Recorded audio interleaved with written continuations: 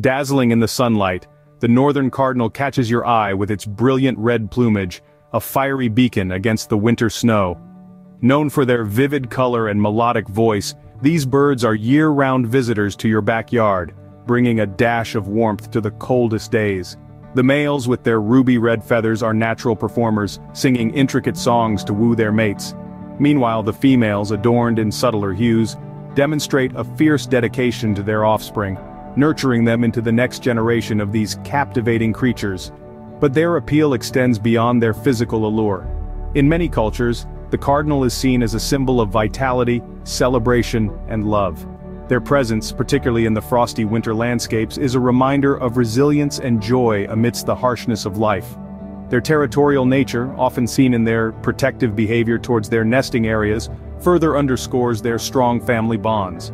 The northern cardinal, then, isn't just a bird. It's a testament to the enduring power of love, family, and the will to thrive. So next time you spot one, take a moment to appreciate this little creature's grandeur and grit,